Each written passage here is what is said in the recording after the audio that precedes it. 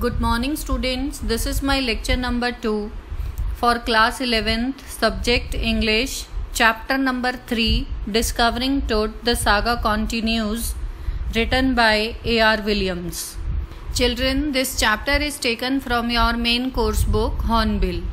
In my first lecture of this chapter, I taught you this from page number 22 to 25 till second paragraph ends on the same page 25 and now in this lecture number 2 we will proceed further to complete the explanation of the complete chapter from page number 25 to 28 this is the remaining part of the chapter. And in this i will continue with the recap of lecture number 1 and then explanation of these pages which are mentioned here. They are page number 25 to 28. Let us recapitulate lecture number 1 of Discovering Tut the saga continues. I told you the meaning of this title also that Tut's mummy was discovered and then experiment was done on his uh, dead body that is called mummy and then the saga continues means there are so many or several other mummies like this and this will continue further also that there will be a uh, discovery done on different mummies and this chapter is written by A.R. Williams and this is about the last successor of powerful pharaoh dynasty Tutankhamun. Tutankhamun whose nickname is Tut died when he was a teenager just after ruling for 9 years. He died in such a mysterious way that the chapter throws light over all possible mysteries of his death, whether it was the curse, where his tomb lies, his life, and untimely death. Egyptians believe that there is life after death, and that is the reason why the pharaohs were buried with wealth and everyday use items. Tut's body was taken out from his resting place by the archaeologist Howard Carter in 1922. And when he took out the body, Howard Carter found that the body of Tut was kept under three layered coffin and one by one he started removing the coffin but when he reached the last layer of the coffin, it became almost impossible for him to separate the body from the coffin. As it had got cemented as the body was buried so many years back around 3300 years back and now it had got cemented as the body was kept with all the daily used items as well as it was gilded with gold the complete body was decorated with all the gold ornaments that the pharaohs used to uh, wear in their own times. So when the uh, when it became pos- impossible for Howard Carter to separate it from its third layer of the coffin, he did an experiment by putting the body of Tut into the blazing sunshine at 149 degree Fahrenheit temperature so that the blazing sunshine would melt the resins and the body would get separated from its coffin. But that was also not possible, and now it was not possible for Carter to leave the body in that very condition because he had a fear of getting all the ornaments or, or the gold items stolen by the thieves from there. He was sure that if he had left the body in that very manner there, then they, that body would be looted by the robbers or the thieves. Therefore, he decided to chisel away the body.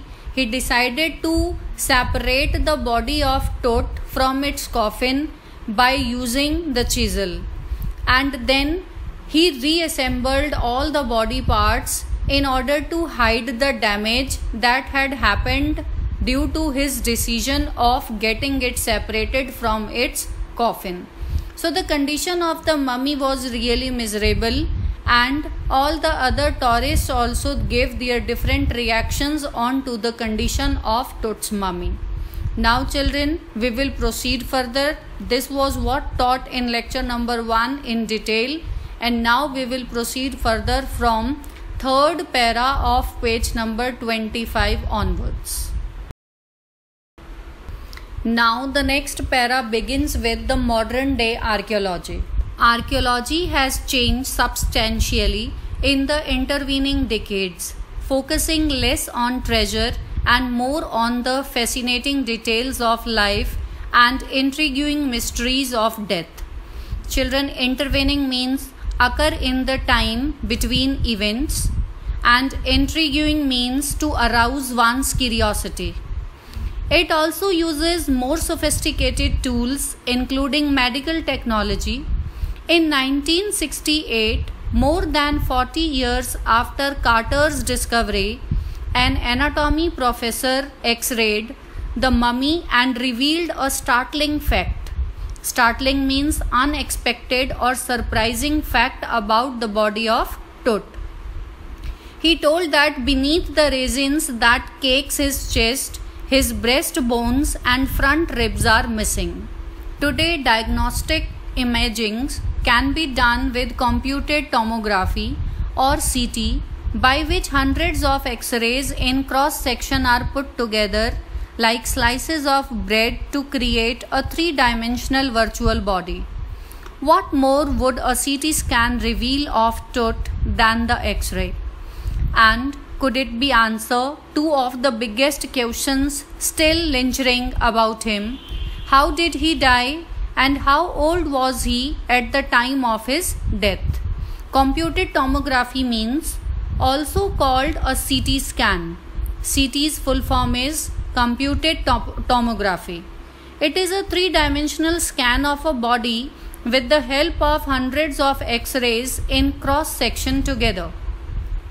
So, in these lines, the writer explains that in the past few decades, archaeology has changed as it now focuses on the details of life and the mysteries of death. Earlier, it was about focusing on the treasure now it uses more advanced medical technologies and tools for research. In 1968, an anatomy professor x rayed King Tut's mummy and revealed that the front limbs and the breast bones were missing. Now, with the advancement of technology, CT scan or computed tomography can give a virtual image of the whole body. With the help of this technology, King Tut's body would be scanned to find answers of two questions how he died and how old was he at the time of his death. Now we will read about Pharaoh's dynasty. King Tut's demise was a big event. Demise means death. King Tut's death was a big event, even by royal standards. He was the last of his family's line, and his funeral was the death rattle of a dynasty. But the particulars of his passing away and its aftermath are unclear. Death rattle means the gurgling sound produced in the throat of a person who is about to die, and aftermath means after effects of an unpleasant event. So his death was a shock to the royals also, as he was the last person of his family and his funeral indicated the diminishment of his dynasty. However, what happened after his death is still not clear.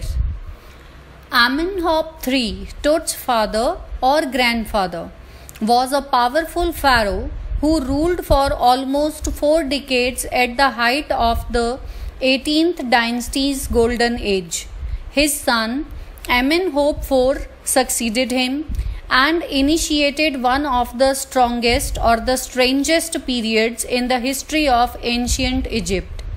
The new pharaoh promoted the worship of Aten, the sun disk, changed his name to Akhenaten or servant of the Aten, and moved the religious capital from the old city of Thebes to the new city of Akhenaten, known now as Amarna.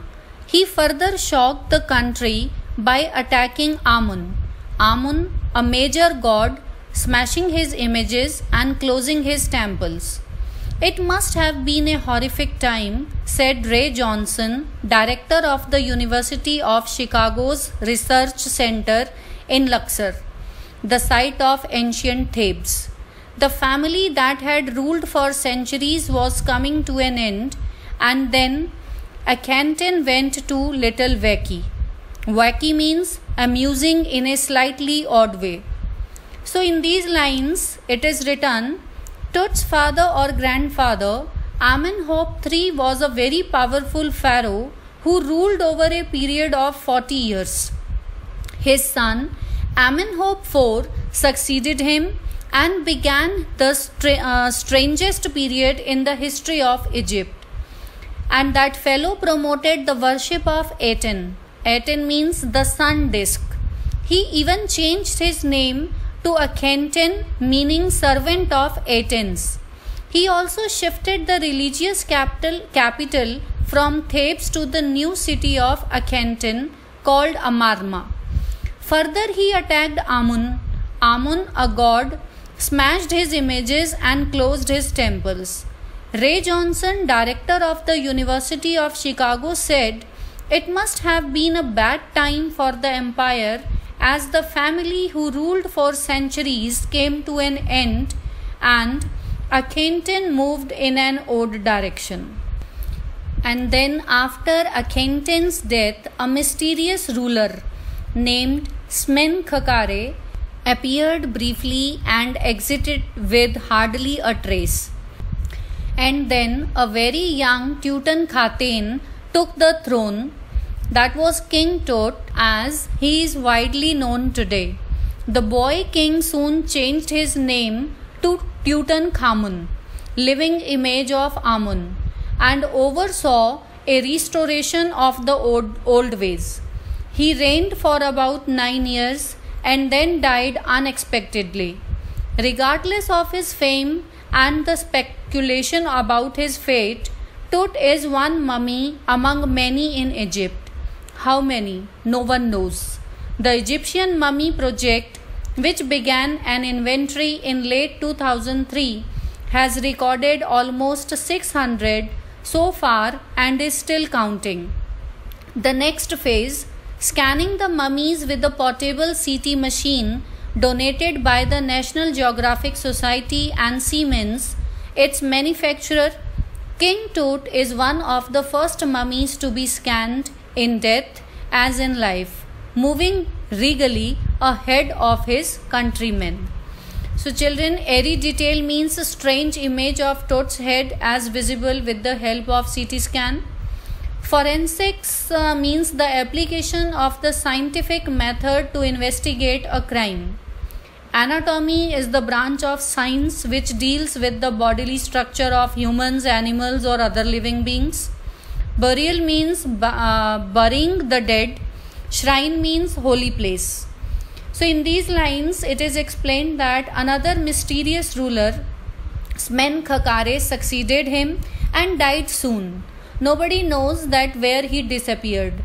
Next, Tutankhamun, also known as Tut, sat on the throne and ruled just for nine years. And he worshipped God Amun in his old ways However, he died mysteriously. Tut is one of the mummies in Egypt, whereas until now, with the help of the Egyptian Mummies Project, which started in 2003, almost 600 mummies have been recorded so far. King Tut's mummy was the first one to be scanned by CT. Under the next phase of scanning the mummies, with the machine donated by the National Geographic Society and Siemens. Now we will talk about scanning of Tut's mummy. A CT machine scanned the mummy head to toe, creating 1700 digital X ray images in cross section. Tut's head scanned in 0.62 millimeter slices to register its intricate structures takes an airy detail in the resulting images. With Tut's entire body similarly recorded, a team of specialists in radiology forensics, and anatomy began to probe the secrets that the winged goddesses of a gilded burial shrine protected for so long. The night of the scan, workmen carried Tut from the tomb in his box. Like pallbearers, they climbed the ramp and a flight of stairs into the swirling sand outside, then rose on a hydraulic lift into the trailer that held the scanner. Twenty minutes later, two men emerged, sprinted for an office nearby, and returned with a pair of white plastic fans. The million dollar scanner had quit because of sand in a fan, cooler fan. Curse of the Pharaoh, joked a guard nervously. Beda pallbearers means a person who helps to escort a coffin at a funeral. And swirling means to spin or twist. Hydraulic lift means a lift that uses a machine to lift or move heavily objects in these lines, it is explained that the CT scan machine scanned the body of Tut by creating 1700 digital X rays in a cross section. Tut's head was scanned in 0.62 millimeter slices to record the tiny details. Intricate details means very small, small details. The resulting image was very strange a team of radiology, forensics, and anatomy experts started examining the secrets of the grave that had been protected by flying goddesses for a long time. During the night, workmen climbed up on the ramp and the flight of stairs to carry the body from the tomb into the spinning sand outside. They rose the body onto a hydraulic lift, then into a trailer where the scanner was kept. After 20 minutes, two men ran towards the office nearby to bring two fans. The scanner was not working as the sand had entered a cooler fan. The guard joked that it was because of the curse of the Pharaoh because they had removed his body from his grave. Now, the beautiful image of Tut's body. Eventually, the substitute fans worked well enough to finish the procedure. After checking that no data had been lost, the technicians turned Tut over to the workmen who carried him back to his tomb. Less than three hours after he was removed from his coffin, the Pharaoh again rested in peace where the funerary priest had laid him so long ago. Back in the trailer, a technician pulled up astonishing images of Tut on a computer screen. A grey head took shape from a scattering of pixels, and the technician spun and tilted it in every direction. Neck vertebrae appeared as clearly as in an anatomy class. Other images revealed a hand several views of the rib cage, and a transection of his skull. But for now, the pressure was off. Sitting back in his chair, Zahi Hawass smiled, visibly relieved that nothing had gone seriously wrong. I did not sleep last night, not for a second, he said. I was so worried, but now I think I will go and sleep. By the time we left the trailer, descending metal stairs to the sandy ground, the wind had stopped. The winter air lay cool and still, like death itself, in this valley of the departed, just above the entrance of Tut's. So, children, you see the words which are appearing difficult are stood Orion. Stood Orion means the constellation uh, that the ancient uh, Egyptians knew as the soul of Osiris, the goddess of afterlife, watching over the boy king. Astonishing means amazing. Pixels means a pixel is a single point in a graphic image. Spun means to turn around. And vertebrae means series of small bones which form a backbone. Now let me explain the lines which we have just read from our book. So, the explanation of these lines is once the fans worked, the procedure was finished. The data was checked in case of any losses, or then technicians returned the body to the pallbearers who carried him back to his tomb. In less than three hours, he was resting at the same place where the priest had laid him many years ago. So, the body of Tut had been put back into the same burial ground. Then, in the trailer, the technician showed a beautiful image of Tut on a computer screen. He showed the grey head which was scattered in pixels and he spun it around. Next, the vertebrae hand, rib cage, and transection of his skull were very clearly shown. As the work was done, the pressure was finally off from the shoulders of Zahi Hawass. While sitting in his chair, he smiled and said that he was relieved that nothing went wrong this time. He had not slept the previous night due to the tension, and now, as the work was done, he would go and sleep soundly.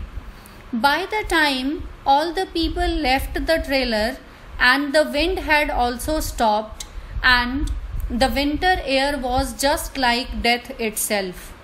Just above the tomb, the Orion constellation shone in the night sky, watching over the boy king sleeping and resting back in his own grave. So, children, this was the complete explanation of Discovering Tut. The saga continues from page number 25 to 28. And in the beginning, we started this chapter to know the fact about Tut's death that had not been revealed even after several years of his mummy was found. First, Howard Carter tried his best to find the fact of his death and then Zahi Hawass also scanned the mummy and got to know about different mysteries of his life, of his body, but he also did not reveal the fact how that young pharaoh at the age of 19 or at his teenage died just after ruling 9 years of his dynasty. This remained a big question for the readers as after even Zahi Hawass worked on his body could not reveal the fact about his death, whether he died naturally or he was murdered. Children, in my next lecture, I will discuss the textual exercise of this chapter with you. By the time your homework is, read the complete lesson Discovering Tut the saga continues from page number 22 to page number 28 thoroughly from your book Hornbill and write the summary of the same in your Fair English notebook. I hope you would be doing it nicely and posting me the summary at my email ID. Thank you. Have a nice day.